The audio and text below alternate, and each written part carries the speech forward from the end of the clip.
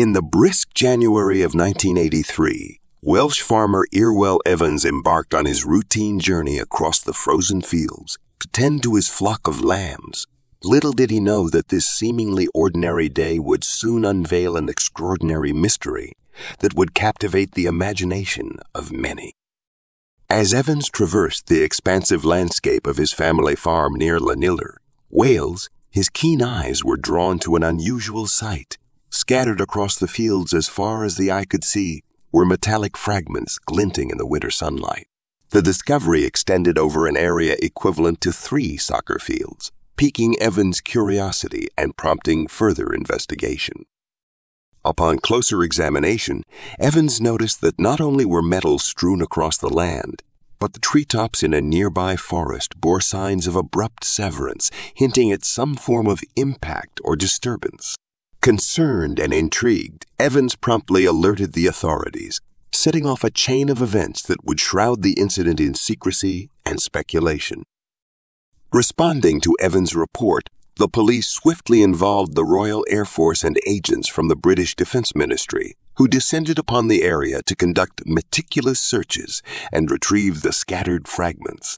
However, despite their presence and efforts, no official explanation for the incident was ever disclosed, and the details of that fateful night remained conspicuously absent from official records. Amidst the silence and uncertainty, local UFO investigator Gary Rowe seized the opportunity to delve into the enigma. Suspecting that remnants of the event might linger despite official cleanup efforts, Rowe embarked on his own investigation of the site. His persistence paid off when he unearthed six metal pieces and two fragments resembling aluminum foil, hidden away for over four decades as tangible evidence of the inexplicable event. Enter Mark Olly, esteemed presenter of Ancient Aliens and professor at Chester University, whose insatiable curiosity led him to unravel the mysteries shrouding the Welsh farmer's encounter.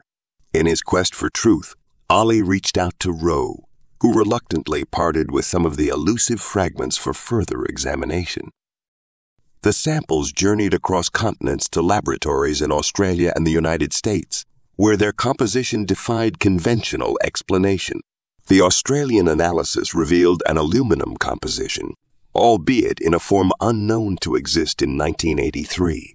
Aluminum foam, a material seemingly ahead of its time.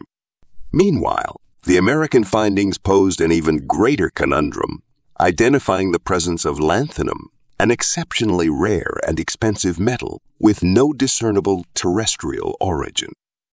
In light of these groundbreaking revelations, Olly posited a provocative theory that the fragments recovered from the Welsh field may be remnants of a craft derived from extraterrestrial technology, reverse, engineered, or otherwise. The implications were profound, challenging conventional notions of reality and inviting speculation into the possibility of otherworldly encounters.